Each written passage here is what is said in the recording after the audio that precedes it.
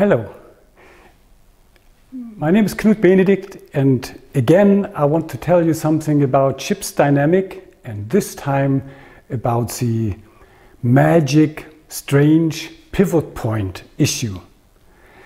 Um, and again I will use the SAMMON planning tool for the demonstration uh, because of the fast time simulation you can uh, um, have all the results in a finger snap. So for the time being, we have positioned the ship here and it's a cruise ship again with two engines, both thrusters, stern thruster, two rudders. And um, for the time being, it's going uh, ahead with 30% of engine order settings, which results in 6.2 um, knots. Maybe we reduce it a little bit. This is 20, so now it's going with 3.7 knots.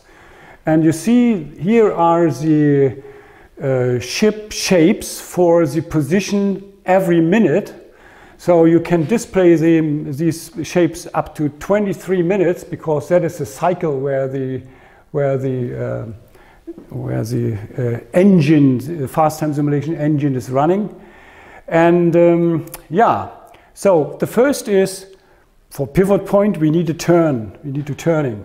So we go with our rudder by 35 degree to starboard and uh, I make it a so we have it here. So I make it a little bit bigger than you see it in more detail.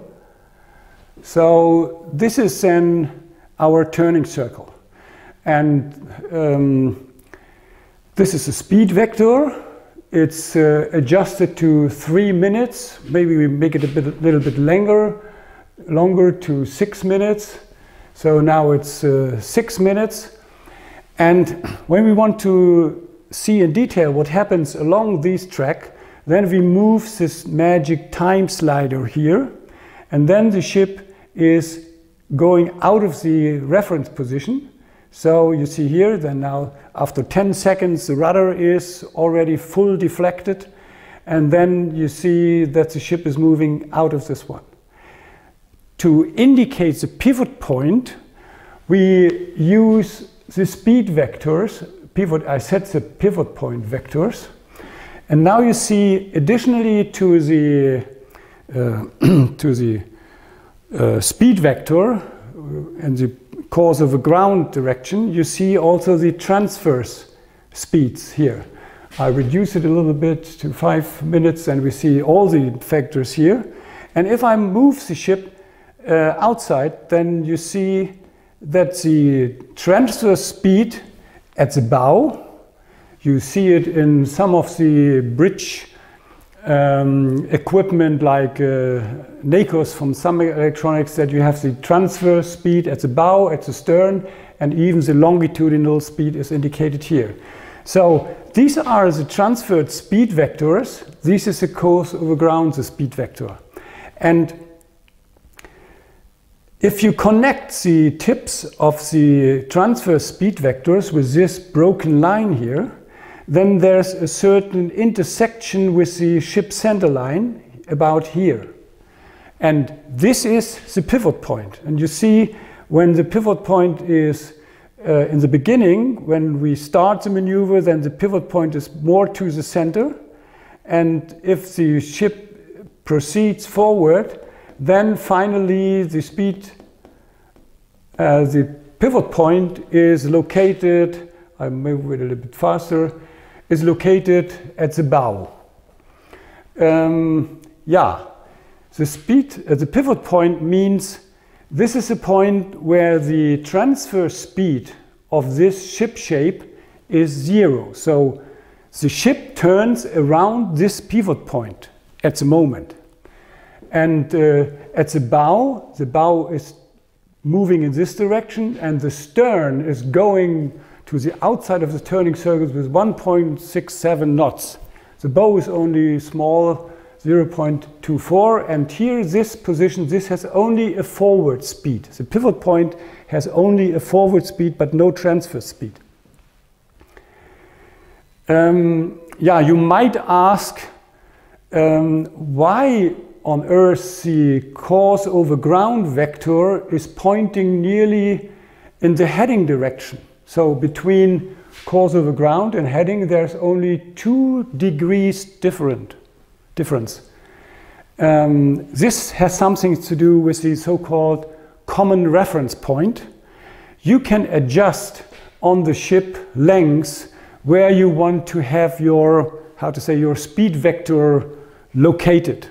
Normally you take the bridge position for this one, but this has the uh, so-called advantage in my mind uh, that if the common reference point is very close to the pivot point, then there is no transfer speed, so the course over ground vectors point in the same direction as the heading, so straight ahead.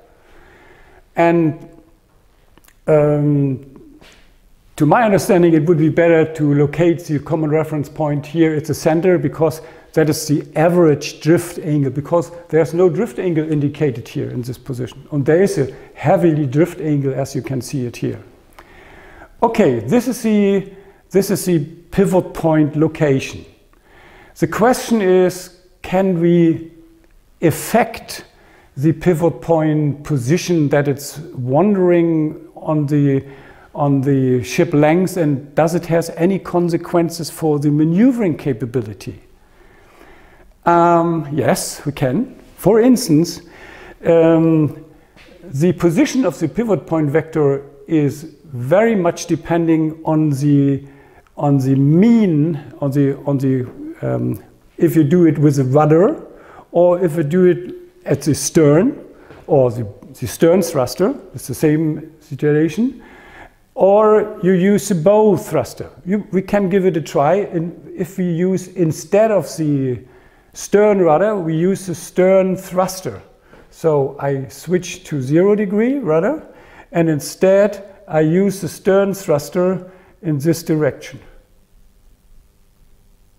So what you see is the stern thruster is not so much effective, um, but what you see is that the the pivot point, uh, again, is very much in front. So it's nearly at the bow. It's nearly at the bow, you see? And also drift angle. And now we will do the opposite. I um, switch the, by the way, this was not full. So, so this is the full, thruster full to, to port side.